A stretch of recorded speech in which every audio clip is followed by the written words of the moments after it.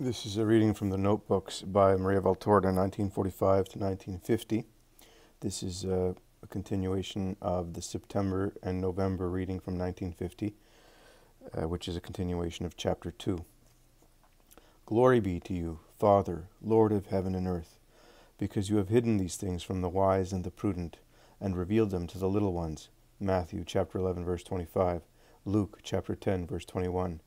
It comes from those out of human respect or hunger for donations, Deuteronomy chapter 16 verse 19, become blind and go against justice.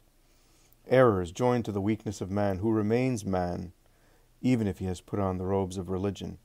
Errors which have sent servants of God to the stake or to jail, and which still apply chains, which, even if they are not material, certainly continue to be chains, to the twofold freedom of the individuals chosen as servants by their Lord, the freedom of man, which, provided he does not do things against the state or his fellows which are punishable under the law, is sacred, and the special freedom of the servant of God to serve God as he requests of his servant. Before, long before Jesus, the voice of the prophets had predicted that the peoples that did not know the Lord would become his people, in place of the one that did not want to recognize him. Jesus many centuries later, warned his people that the Gentiles would surpass many of them in justice, and he offered an example of the way to treat the Gentiles and sinners to lead them to the way, the truth, and the life. And yet, the apostles themselves, directly instructed by the word and example of the Master, because of their ever recurring pride in being Jews, impeded dealings with the Gentiles. The example of Peter with the centurion Cornelius Acts chapter 10, should show everyone how pride can slow down the conquest of souls and or pave the way for certain souls not to come to life. God had to intervene with a miracle to persuade the apostle that God does not distinguish between persons, but in any nation those who fear him and practice justice are acceptable to him. Acts chapter 10 verses 34 to 35. Jesus and before him the prophets had clearly instructed people about the destiny of Christ. And yet, when the evening of Holy Thursday came, though they were fortified by purification and the Eucharist given to them by the eternal pontiff, human weakness, which is not cancelled out by consecration, brought them to flee in fear and shame, and to deny. And it was precisely Peter, the successor of Jesus in the government of the church, who denied him and later, though assailed by the Holy Spirit on different occasions, he showed a lack of understanding towards his brothers in the priestly ministry, and was weak to the point of manifesting duplicity in his way of life. Galatians chapter 2 verse 12, out of fear of prompting criticism or enmity. Man is man, like newborn babes.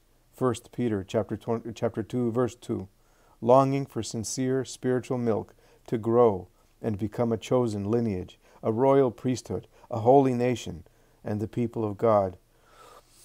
So Peter changed from being a man to being holy, heroically holy, ever holier, truly becoming another Christ by assiduous effort. But first, he was man, as Paul was a man, in whom the law of the flesh, Romans chapter 7 verse 23, struggled against that of the spirit a man who, after being snatched up to the third heaven, still experienced the blows of the angel of Satan, the spur of the flesh. 2 Corinthians chapter 12 verse 7.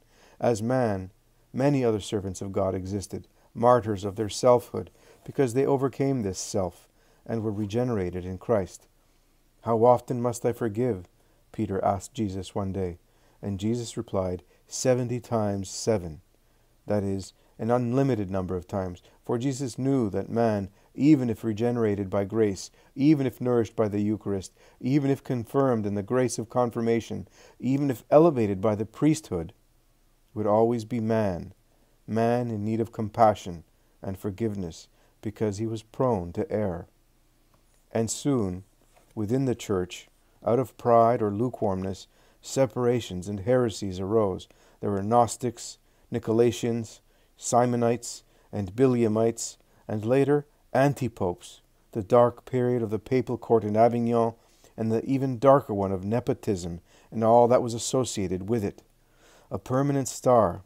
Like every star, the church, too, has its phases. An undying flame, like every flame, it alternates between flaring up and flaring and flickering weakly. But since its head, Jesus, and its soul, the Holy Spirit, are eternal and most perfect, and eternal and infinite is their power and will, so it can experience momentary phases of descent and weakening, but it cannot fall entirely or fade out completely.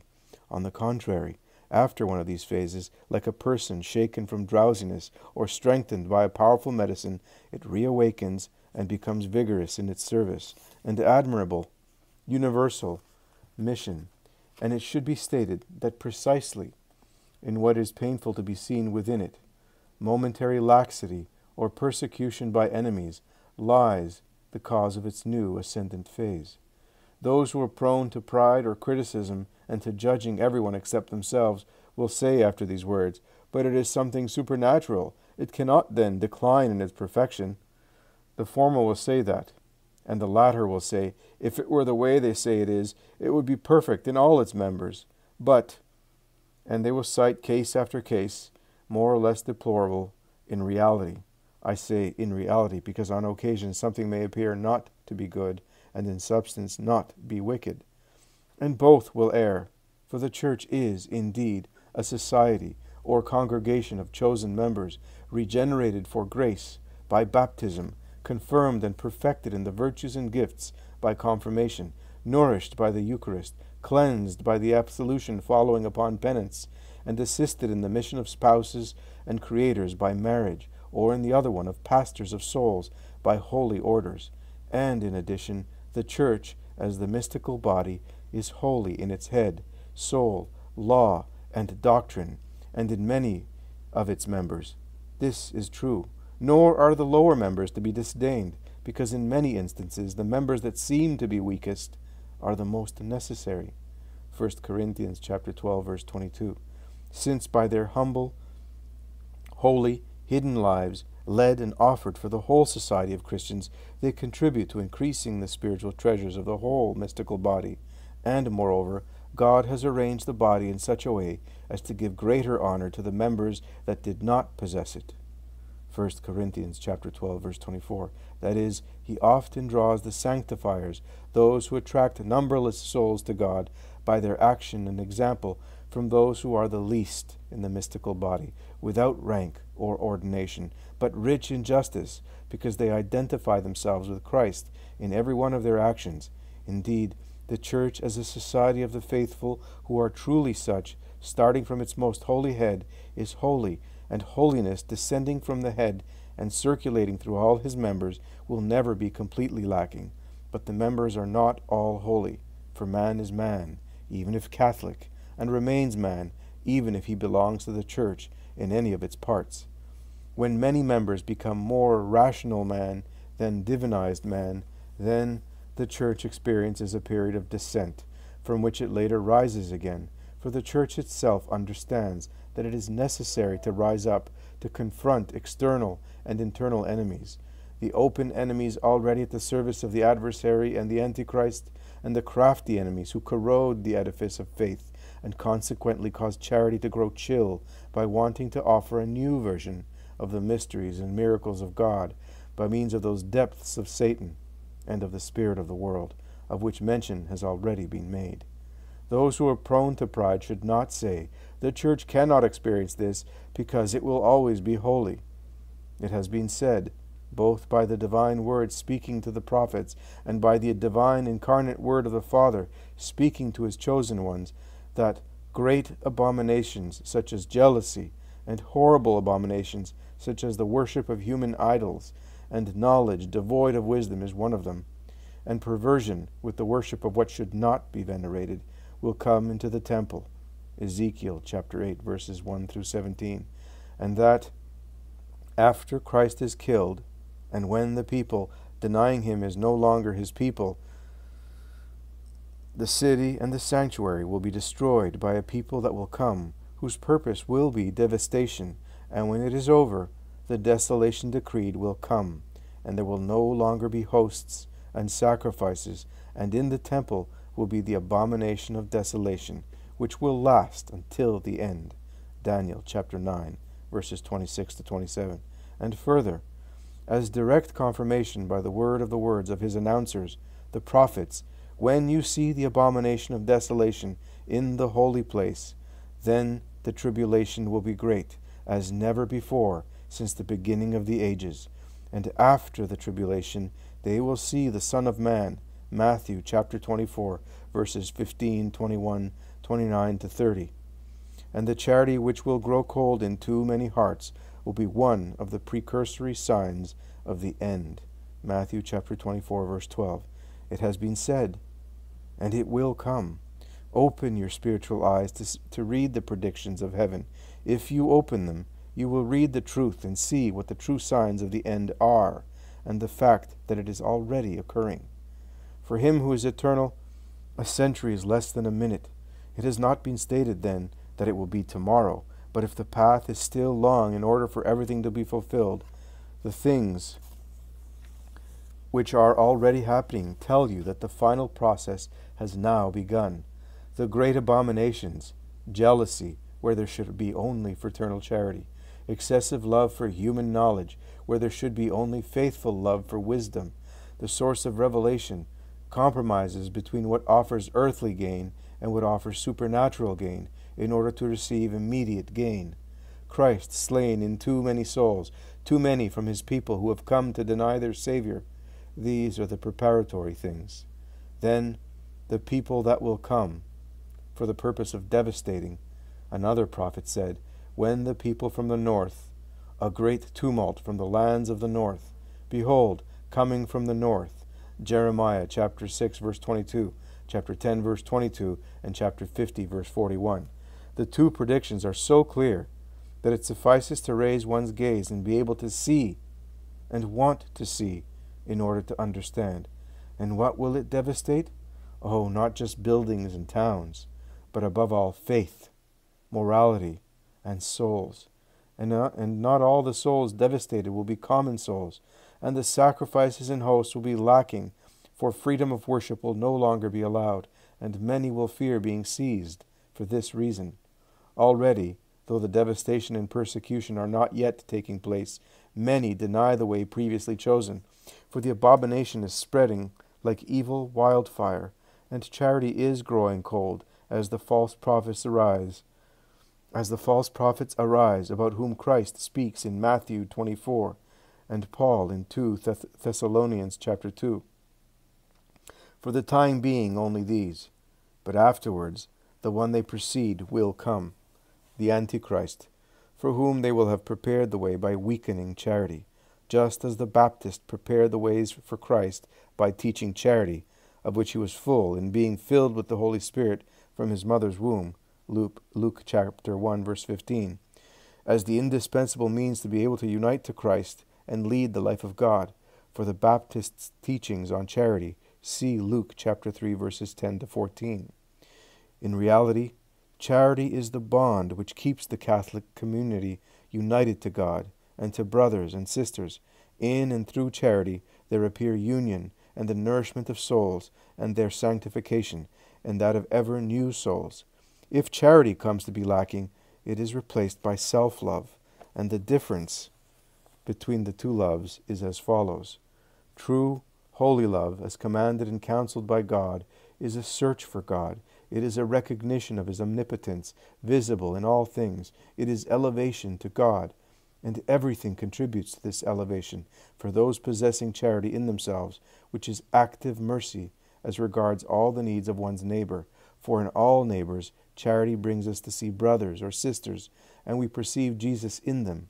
Jesus suffering with the sufferings of the poor, the sick, and the persecuted, or suffering because a son of the Father is becoming a prodigal son, leaving the Father's house in search of a false well being, or suffering because someone doubts he has a father, and it is necessary to persuade him that there is an extremely good Father, so that he will not fall into desolation and sin. Self love, on the other hand, is the search for ourselves. It is successive love for oneself. It is action performed to glorify oneself in the eyes of the world. It is then concupiscence of the flesh, concupiscence of the eyes, and pride of life. And from this plant with three branches there later comes vainglory, hardness of heart, haughtiness, longing for human praise, hypocrisy, a spirit of domination, and the conviction that one can judge oneself on one's own, shrugging aside every command or counsel of love and of those speaking in the name of love. They believe they are free and kings, because, according to them, no one is better than they. For, in their own opinion as well, they are already established on the summits of knowledge and power, but they are worse slaves than anyone else, to themselves and to God's enemy, and to the servants of the enemy of God, slaves, servants, naked and blind, slaves to themselves, and servants or slaves to the enemy and enemies of God, naked as regards the beautiful robes, the robes of the marriage to wisdom, the white robes for the heavenly banquet, and to go on celebrating the Lamb, blind, or at least nearsighted, because they have ruined their spiritual vision with useless human investigations. They become like this because they have renounced their primogeniture, that is, the highest filiation, the one coming from God, for a poor plate of lentils, earthly food. A plate of lentils is the replacement of sapiential, supernatural works, especially the great revelation, which should be accepted and believed without half measures. A plate of lentils is to replace this with scientific books, which, no matter how perfect, are always books written by a man. They may thus seem clearer and certainly more comprehensible for those able to read the letter alone, remain on the surface of something for those who cannot penetrate further because of their own heaviness, but they do not transform man, they do not lead him upwards. Inspired books, on the other hand, those books whose author is God, for those able to read them, are a means of transformation and union in God and with God and of elevation. All that comes from God is a means of elevation, transformation, and more intimate union with God. Miracles themselves, of different kinds, and especially the miracles of healing of bodies and spirits, are a means of transformation and union with God. How many of the incredulous and sinful were able to be turned into believers and redeemed persons through the wonder of a miracle? Miracles should not be denied out of deference to rationalism neither the miracle of creation, nor that of healing of a soul, or the flesh. Matter was brought out of nothing, and ordered towards its sole purpose by God. A dead soul, or one ill with an incurable spiritual disease, was healed by God, through one means or another, but still by God. A body condemned to die can be healed by God, always by God, even if he makes use of an apparition, or a just person to convert and heal a spirit, or of special trust in a saint to heal the flesh. Let the rationalists manage to believe. Reason is a great thing. It is a great thing to be a rational creature, but the spirit is a greater thing, and to be a spiritual creature is greater. That is, those who know they have a spirit, and set it in the first place as the king of their selfhood, and as the most select thing of all, for if reason helps man to be a man and not a beast, the Spirit, when it is king of the self, makes man the adoptive son of God, gives him a likeness to God, and enables him to share in his divinity and eternal goods. Let the Spirit then reign over reason, and the flesh over humanity. And let a rationalism not sorry, let the Spirit then reign over reason and the flesh or humanity. And let a rationalism and let a rationalism not reign, which denies or seeks to explain what should be believed by faith, which on being explained, indeed, in the attempt at explanation, is damaged, and faith is damaged if not slain. Let the rationalists manage to see.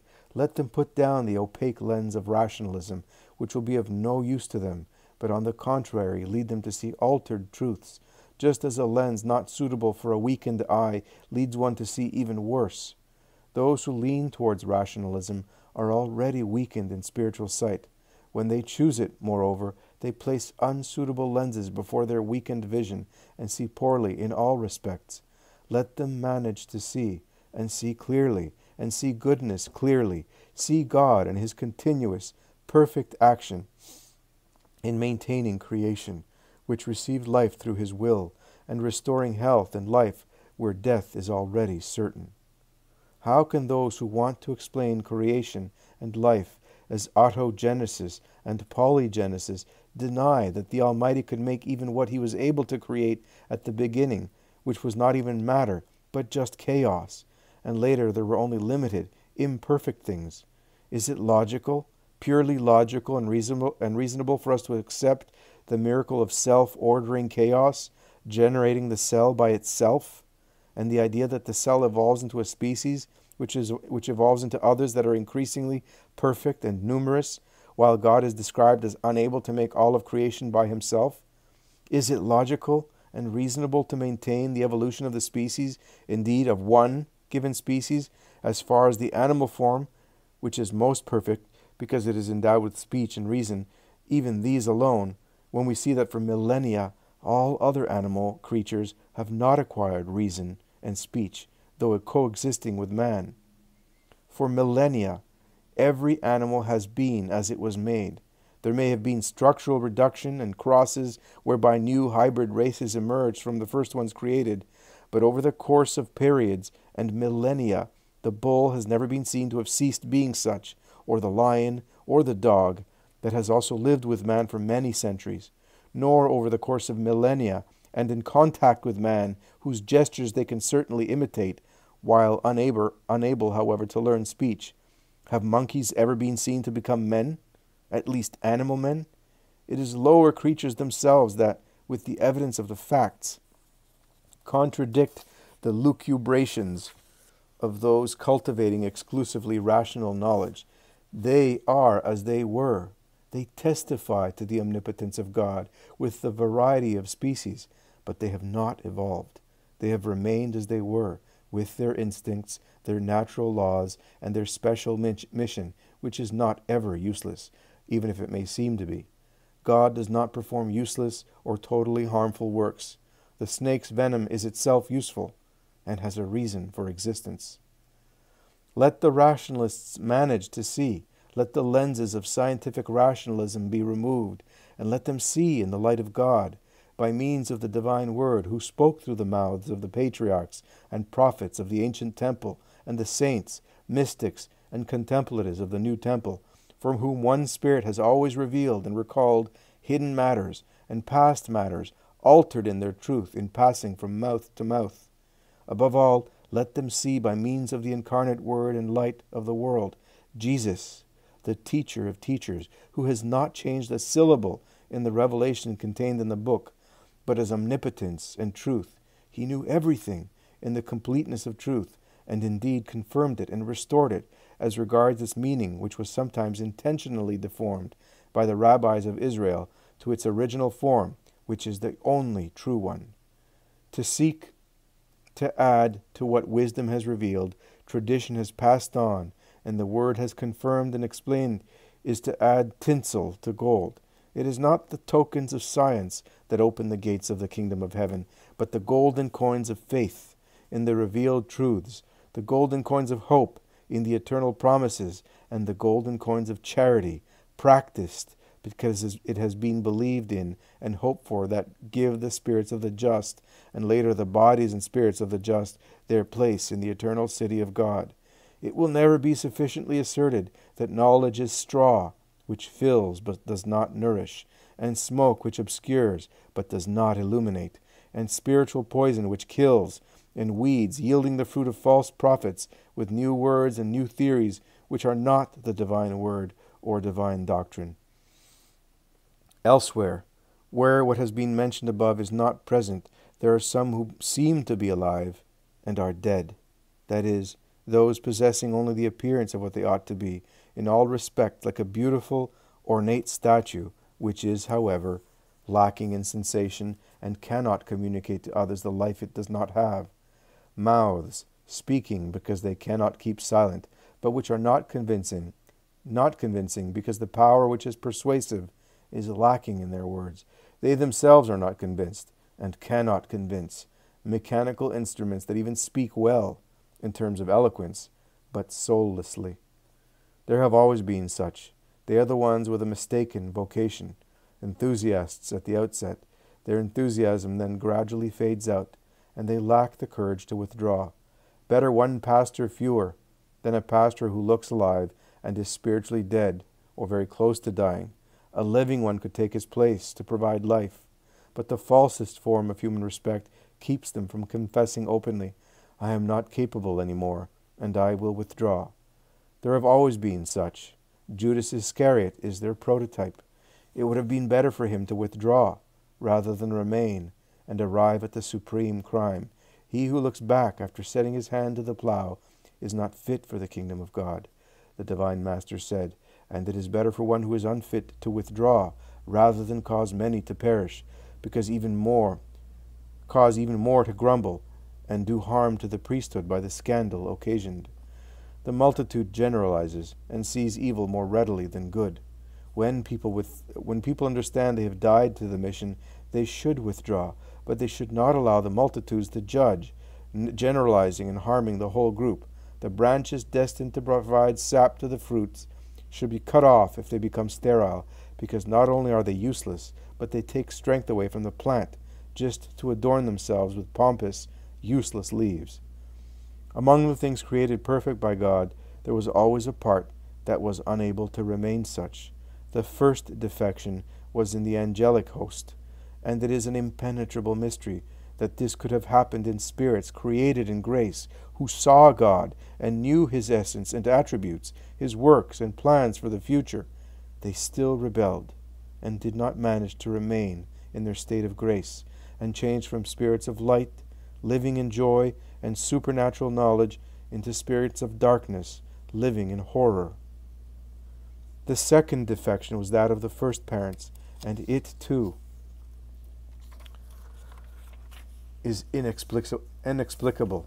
How could it happen that two innocents who enjoyed God's numberless benefits and because of their fortunate state of grace and other gifts were in a position to know and love God like no other humans except the Son of Man and his mother, for they were filled with innocence and grace, were capable of listening to and obeying the tempter and preferring him to heeding the voice of God, who taught them lovingly and asked them for one single act of obedience an easy form of obedience, for they had no need to pick that fruit in order to be satisfied in every appetite.